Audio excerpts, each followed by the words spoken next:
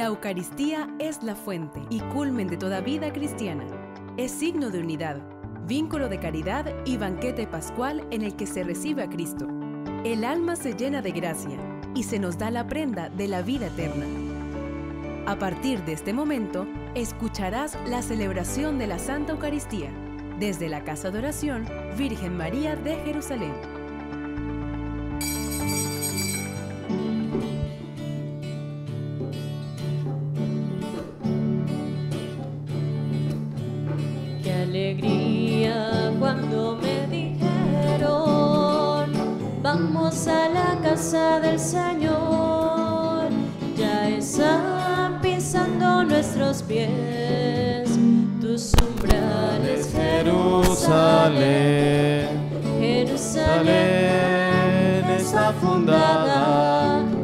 Ciudad bien compacta.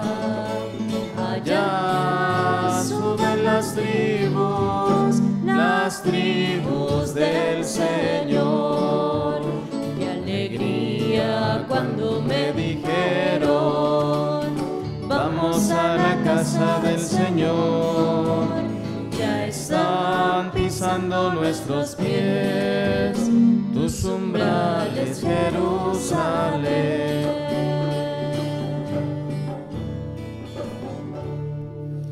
Hola queridos amigos que nos siguen por Radio Natividad, hoy damos gracias por la hermosísima misa crismal que tuvimos en Santana, darle gracias a Dios porque fue una experiencia maravillosa, agradecer al Padre Domingo Pernía, a todas sus comunidades eclesiales de base, a su consejo económico, a su consejo pastoral, a la comunidad sacerdotal que con él vive. Y así como el Señor obró en la misa crismal, ponemos desde ya en la presencia de Dios la fiesta de Pentecostés que se celebrará aquí en Radio Natividad el 4 de junio. En el nombre del Padre y del Hijo y del Espíritu Santo, la paz y la salud de Dios esté con ustedes. Pedimos perdón de nuestros pecados. Yo confieso ante Dios Todopoderoso y ante ustedes, hermanos, que he pecado mucho de pensamiento, palabra, obra y omisión, por mi culpa, por mi culpa, por mi gran culpa. Por eso ruego a Santa María siempre Virgen, a los ángeles, a los santos y a ustedes, hermanos, intercedan por mí ante Dios nuestro Señor. Que Dios tenga piedad y misericordia de nosotros, perdone nuestros pecados y nos lleve a la vida eterna.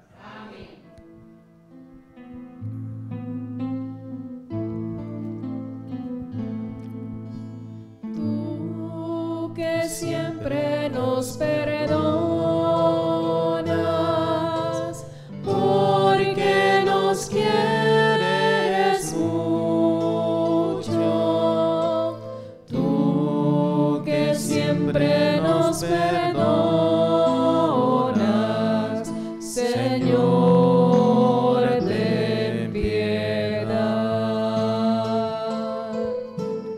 Tú que siempre nos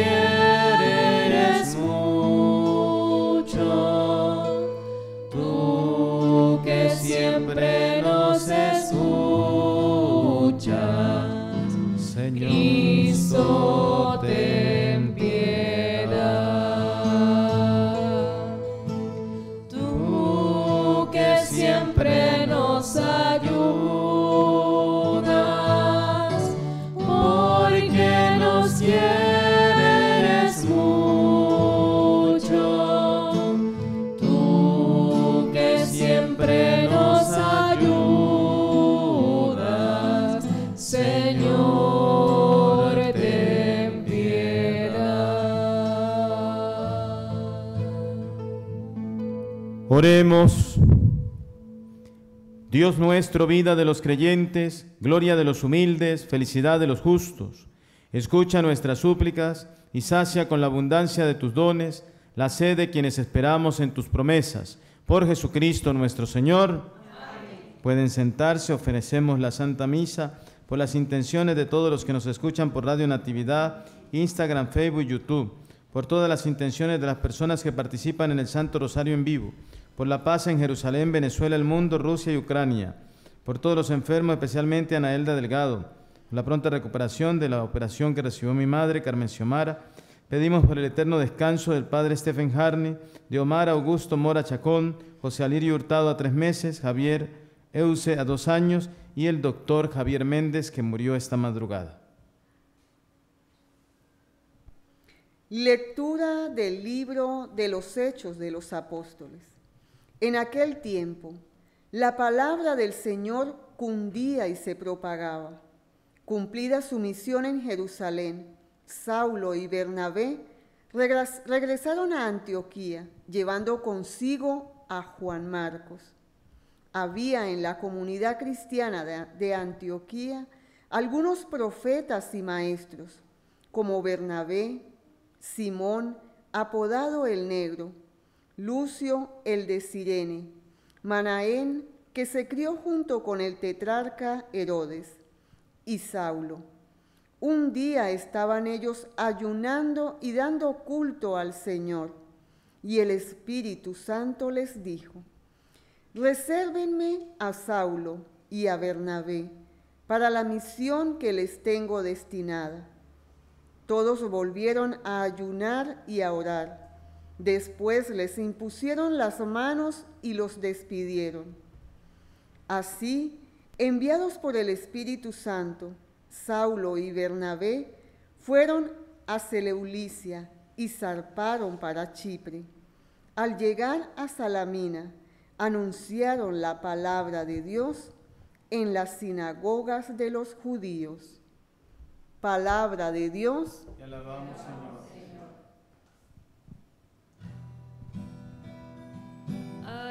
Alaben al Señor todos los pueblos. Aleluya. Alaben al Señor todos los pueblos.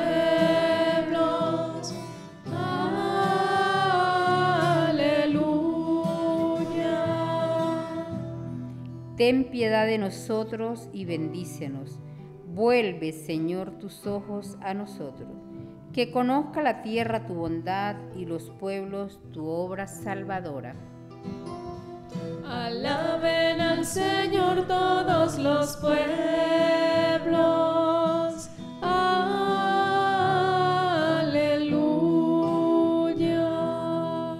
Las naciones con júbilo te canten porque juzgas al mundo con justicia.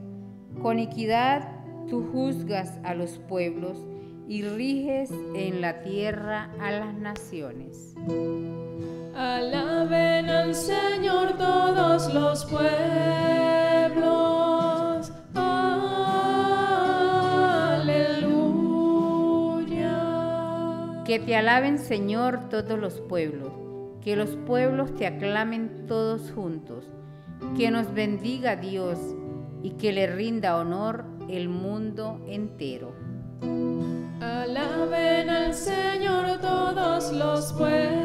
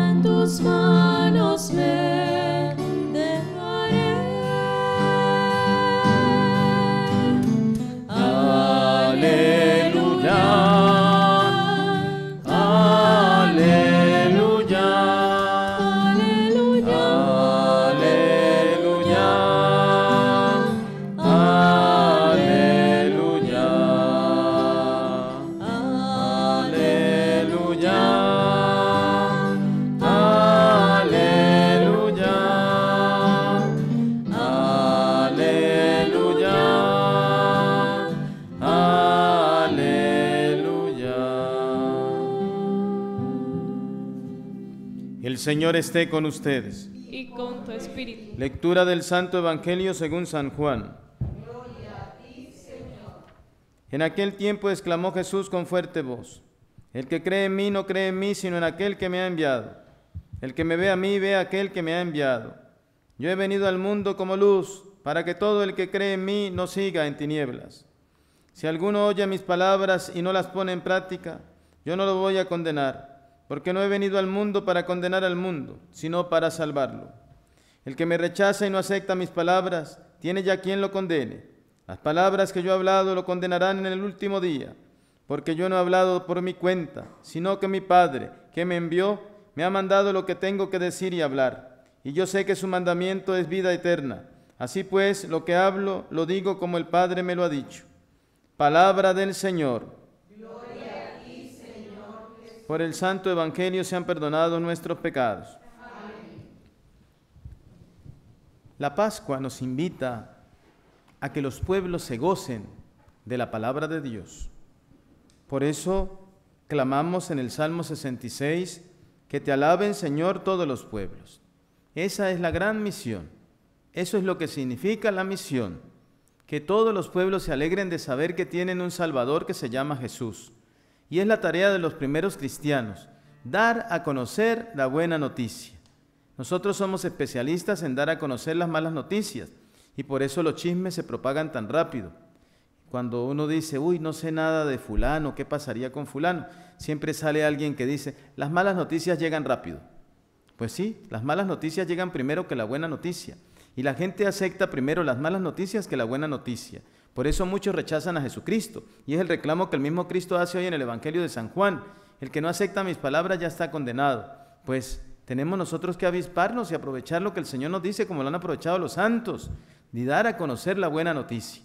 A veces en las parroquias hay gente que ayuda, que está metida en la iglesia, que son los jalajalas del cura, pero no predican la buena noticia. Al contrario, espantan a la gente de las parroquias. En muchísimas parroquias de 190 sucede eso. Espantan a la gente de las parroquias. Cuando San Pablo y Bernabé se arriesgaban, los apóstoles se arriesgaban, dando la vida incluso por dar a conocer la buena noticia. Pero no solamente dar a conocer la buena noticia como jueces, o sea, diciéndole a la gente, esto no lo pueden hacer, aquello no lo pueden hacer, esto no lo pueden hacer, aquello no lo pueden hacer. No, sino con su testimonio de vida, con su felicidad. Ayer en el Evangelio y en las lecturas veíamos cómo fue cuando por primera vez llamaron a los cristianos cristianos. Y los llamaron cristianos porque eran felices, porque se amaban entre ellos, porque nadie pasaba necesidad.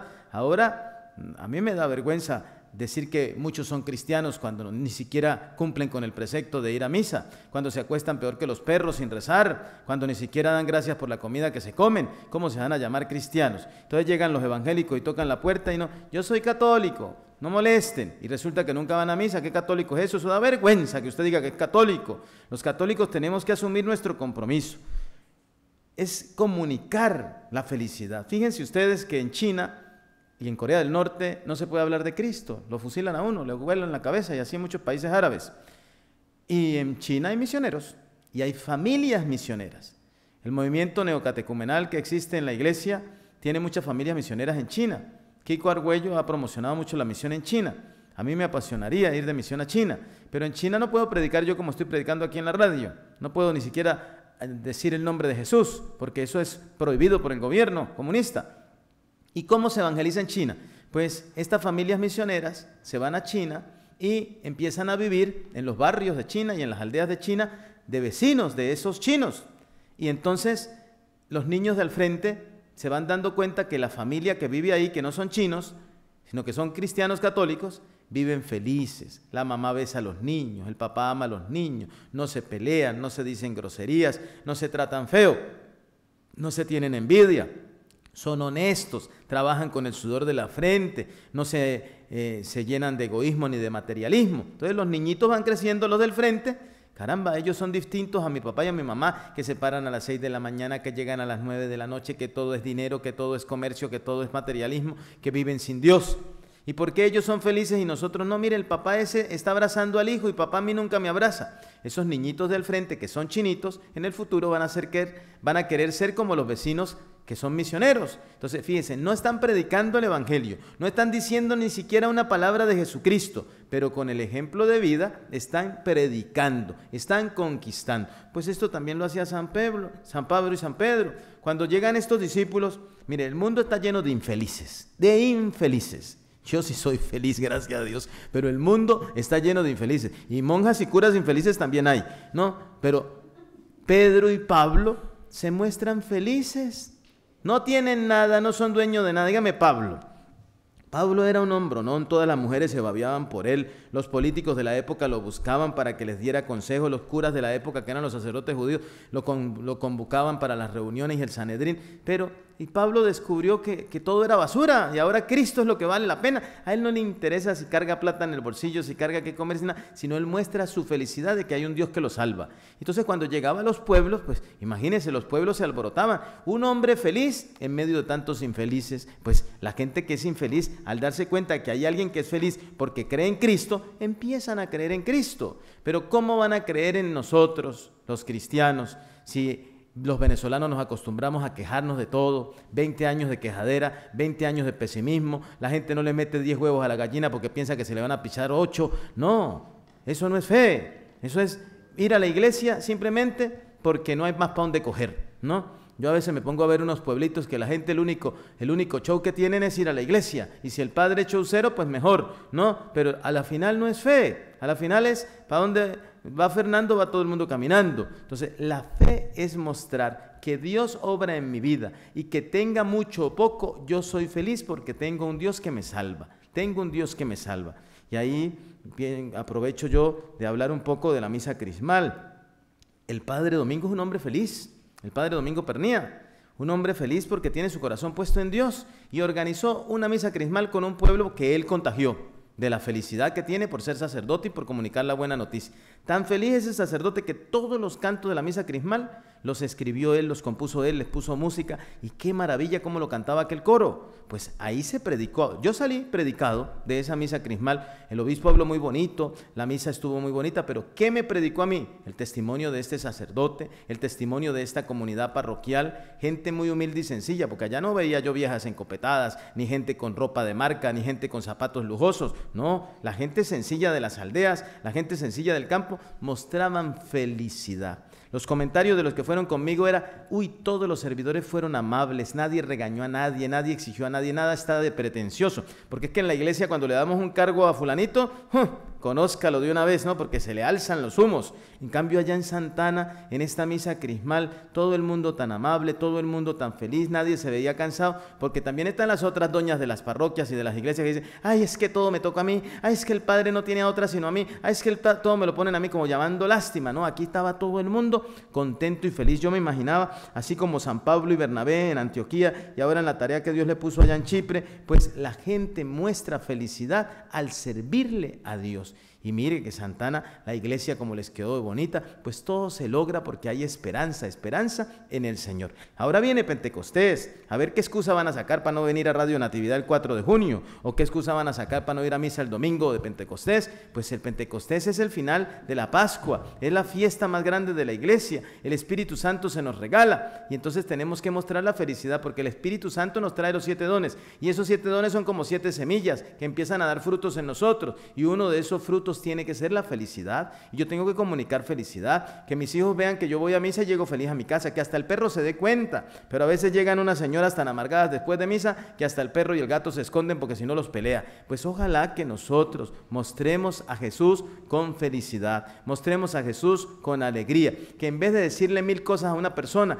con la actitud, con el estilo de vida, porque es un estilo de vida. El cristiano es un estilo de vida en medio de la sociedad, en medio de la civilización. Que mostremos la alegría de ser hijos de Dios, que mostremos la felicidad de sentirnos amados por Dios. Pero hoy hay muchos cristianos obstinados y amargados y con cara de tabla. El Papa Francisco cada rato lo repite. Por eso vivamos la alegría, comenzamos. Eso como yo. Yo soy sacerdote. Si yo me muestro sacerdote feliz, si yo me muestro un hombre realizado como sacerdote, los monaguillos míos van a querer ser sacerdotes. Porque a veces los pobres monaguillos tienen unos papás que no sirven para medio nada, porque son amargados, peliones, borrachines, miserables. En cambio ven al sacerdote feliz y alegre, ellos van a querer ser sacerdotes. Y así las religiosas. Si ven una religiosa feliz, las niñas van a querer ser religiosas si ven una esposa feliz, esas niñas van a querer tener esposo. Pero a veces yo le digo a algunas mujeres por ahí, ustedes se desahogan delante de las niñas, ustedes hablan mal de sus maridos delante de las niñas, pues las niñas no van a querer ser mujeres casadas y terminan después desviándose por otros caminos. Pues ojalá en todos los aspectos de la vida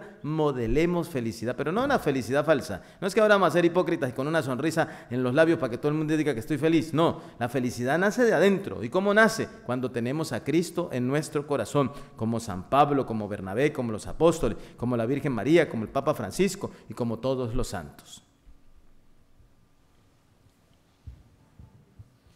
Oremos hermanos a Dios nuestro Padre por el Papa, los obispos y los sacerdotes para que sean modelos de alegría y felicidad. Roguemos al Señor. Por Venezuela para que recuperemos la alegría y no seamos un país de obstinados. Roguemos al Señor por nuestras familias para que sean auténticos hogares cristianos y en ellos reine la felicidad y la paz. Roguemos al Señor. Por Radio Natividad para que Dios nos provea de todo lo necesario para que esta emisora se mantenga en el tiempo y también para organizar la fiesta de Pentecostés del 4 de junio. Roguemos al Señor. Te pedimos, Señor, por el aumento de las vocaciones sacerdotales, la perseverancia de los seminaristas y la santificación del clero. Roguemos al Señor. En silencio, hacemos oración.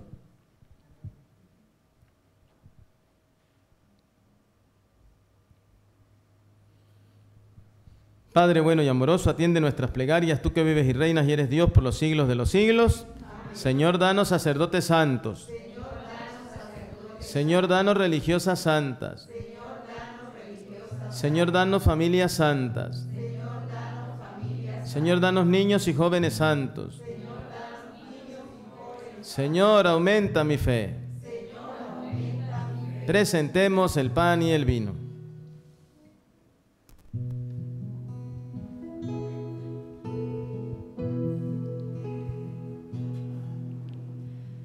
Señor, mi vida ofrecer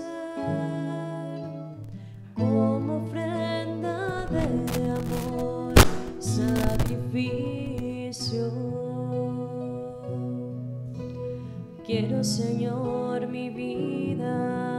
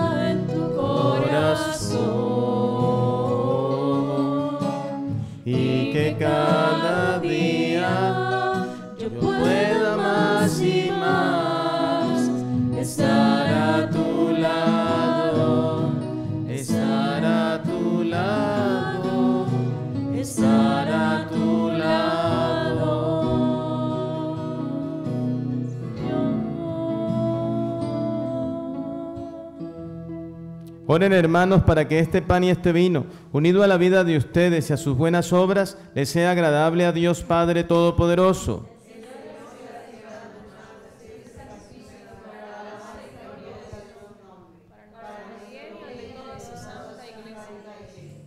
Dios nuestro, que por medio de estos dones que vas a convertir en el cuerpo y la sangre de tu Hijo, nos haces participar de tu misma vida divina, concédenos que nuestra conducta ponga de manifiesto las verdades que nos has revelado por Jesucristo nuestro Señor.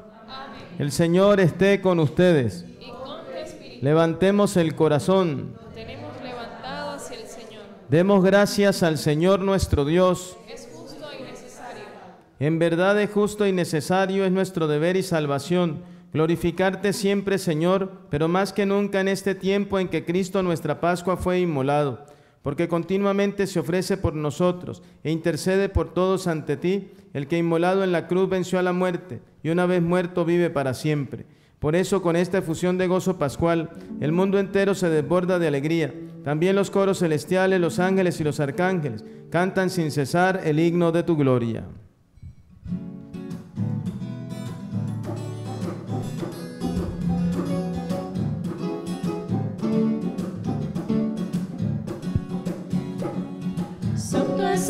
Señor mi Dios, digno de alabanza. A Él el poder, el honor y la gloria. Santo es el Señor mi Dios, digno de alabanza.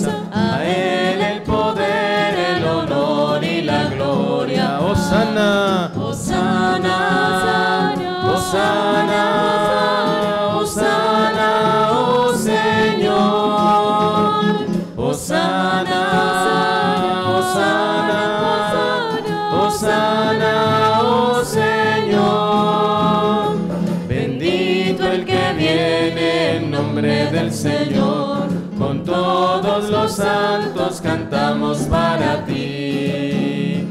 Bendito el que viene en nombre del Señor. Con todos los santos cantamos para ti. Osana, Osana, Osana, Osana,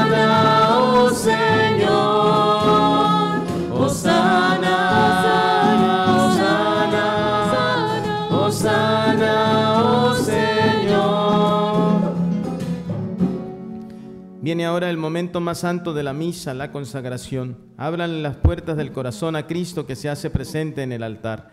Santo eres en verdad, Señor, fuente de toda santidad. Por eso te pedimos que santifiques estos dones con la efusión de tu Espíritu, de manera que se conviertan para nosotros en el cuerpo y la sangre de Jesucristo, Hijo tuyo y Señor nuestro, el cual cuando iba a ser entregado a su pasión, voluntariamente aceptada, tomó pan. Dando gracia lo partió y lo dio a sus discípulos, diciendo, Tomen y coman todos de él, porque esto es mi cuerpo que será entregado por ustedes. Señor mío y Dios mío, yo te adoro, pero aumenta mi fe, la fe de mi familia, la fe de mis vecinos, la fe de mi país. Del mismo modo, acabada la cena, tomó el cáliz, dando gracias de nuevo, lo pasó a sus discípulos, diciendo, Tomen y beban todos de él, porque este es el cáliz de mi sangre, sangre de la alianza nueva y eterna, que será derramada por ustedes y por muchos, para el perdón de los pecados. Hagan esto en conmemoración mía. Señor mío y Dios mío, que tu sangre preciosa nos lave de todo pecado, de toda enfermedad maligna, nos libre de los enemigos del alma que tanto nos hacen sufrir, nos haga invisibles a la maldad de los hombres. Hermanos, este es el sacramento de nuestra fe.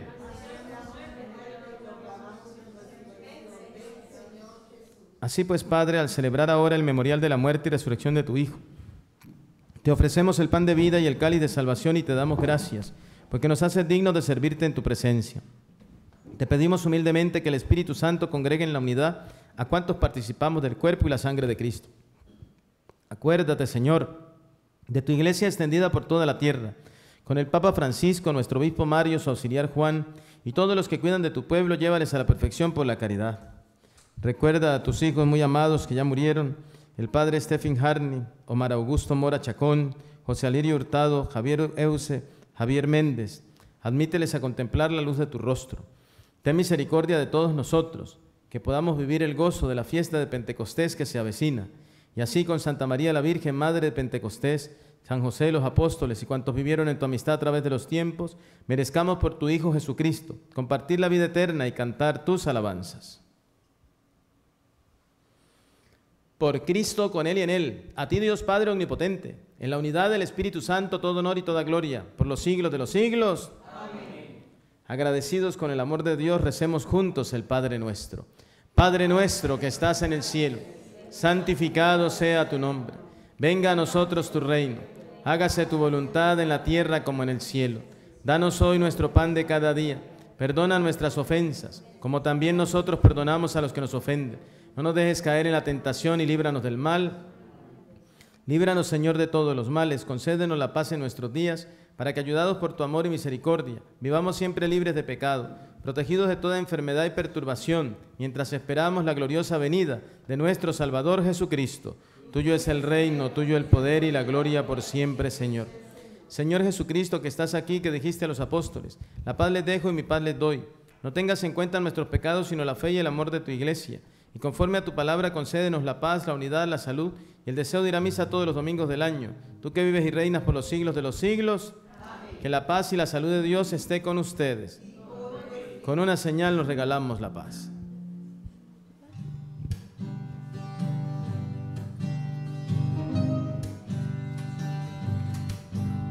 Cordero de Dios, que quitas el pecado del mundo, ten piedad. Cordero de Dios, que quitas el pecado del mundo, ten piedad. Cordero de Dios, que quitas el pecado del mundo, danos la paz. Danos la paz. Danos la paz. Danos la paz. Este es el Cordero de Dios que quita los pecados y las enfermedades del mundo. Dichosos ustedes convidados a esta Santa Misa. Señor, no soy digno de que entres en mi casa, pero una palabra tuya bastará para sanar. Que el cuerpo y la sangre de Cristo nos guarde y custodie para la vida eterna. Gusten y vean qué bueno es el Señor, dichosos los que lo buscan. Mientras el Padre comulga, recen por él y por todos los sacerdotes católicos.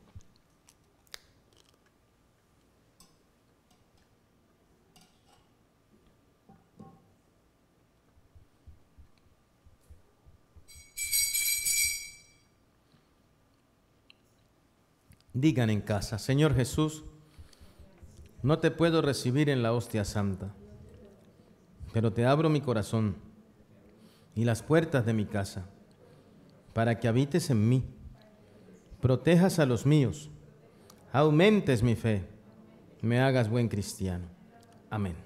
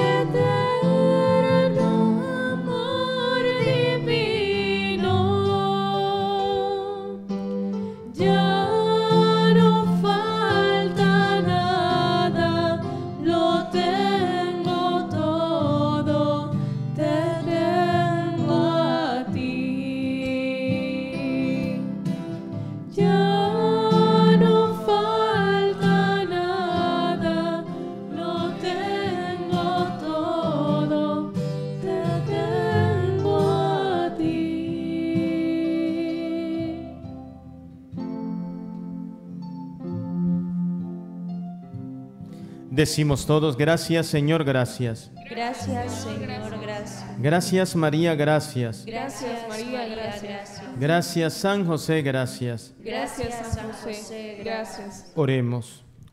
Señor, tú que nos, nos has concedido participar en esta Eucaristía, míranos con bondad y ayúdanos a vencer nuestra fragilidad humana para poder vivir como hijos tuyos. Por Jesucristo nuestro Señor. El viernes es la fiesta de la Virgen de Fátima. Vayamos a misa todos por la paz. La aparición de la Virgen de Fátima fue por la paz y no la guerra. Así que tenemos que ir los cristianos este viernes a misa. Y también en algunas parroquias como en la nuestra, allá en Monterrey, comienza la novena de Santa Rita de Casia, que de este domingo en ocho ya es la fiesta de Santa Rita. Este domingo que viene es la fiesta de San Isidro. Mayo y junio son muchas fiestas, así que los campesinos a celebrar la fiesta de San Isidro, que es su protector y su intercesor. Y dentro de una semana, la fiesta de Santa Rita de Casia.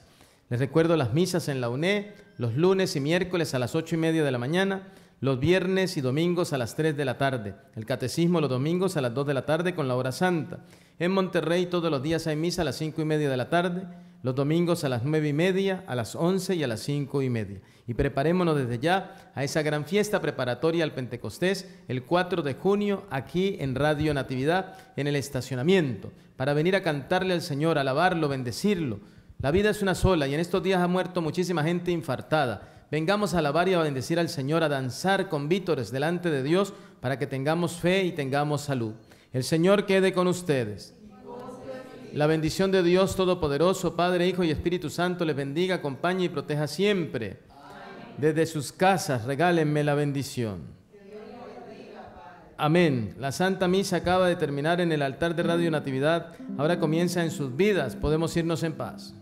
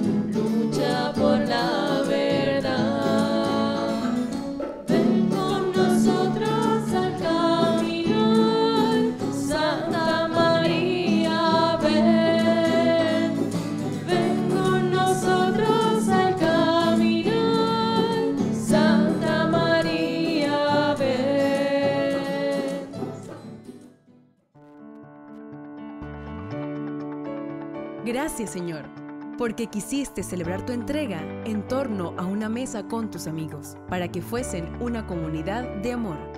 Radio Natividad transmitió la celebración de la Santa Eucaristía desde la Casa de Oración Virgen María de Jerusalén.